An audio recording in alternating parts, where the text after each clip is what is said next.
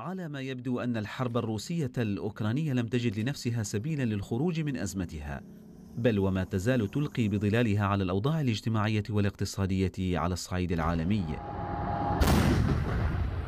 فعلى وقع دوي انفجارات متواصلة شهدت مدينة باخموت الاستراتيجية الواقعة في الشرق الأوكراني معارك متواصلة أصيب خلالها عدد كبير في صفوف الجيش الأوكراني حسب مصادر أمنية أوكرانية. في المقابل تحدثت مصادر روسية عن إحراز قواتها تقدما طفيفا في الأسابيع الأخيرة في الشرق الأوكراني خصوصا بعد الضغط على مدينة باخموت مركز الصراع. وبناء على طلب أوكراني سابق لمساعدة الجيش الأوكراني لصد الهجوم الروسي أوفت الغرب بوعودها حيث أرسلت كندا أول دبابة من نوع ليوبارد 2 بحسب ما أعلنت وزيرة الدفاع أنيتا أند. وأكدت وزارة الدفاع الكندية أن طائرة تابعة للقوات الجوية الكندية أقلعت من هاليفاكس مع أول دبابة ليوبارد 2 مضيفة أن كندا ستواصل دعم أوكرانيا وتتضامن معها في ظروف الحرب.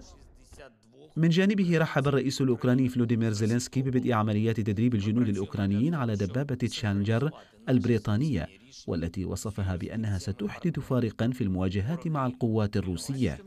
كما أكد المستشار الألماني أولاف سولتس أن هناك توافقا مع الرئيس الأوكراني بعدم استخدام الأسلحة التي زودت بها أوكرانيا من الغرب لشن هجمات على الأراضي الروسية.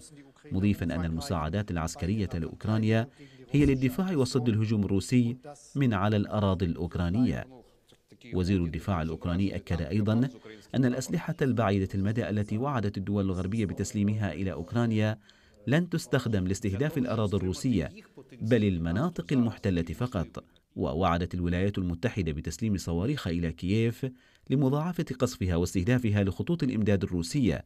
لكن يخشى الغربيون من أن تستخدمها كييف لشن هجمات على الأراضي الروسية ما يؤدي إلى تصعيد خطير للصراع. وعلى الوتيرة نفسها للضغط على موسكو فرضت أوروبا حظرا على واردات وقود الديزل الروسي ومنتجات النفط المكررة الأخرى ما يقلل الاعتماد على الطاقة في موسكو. وسعيا إلى زيادة عرقلة أرباح الكرملين من الوقود الإحفوري كعقوبة على موسكو. ويأتي الحظر مع حد أقصى للسعر اتفقت عليه الديمقراطيات المتحالفة في مجموعة السبع.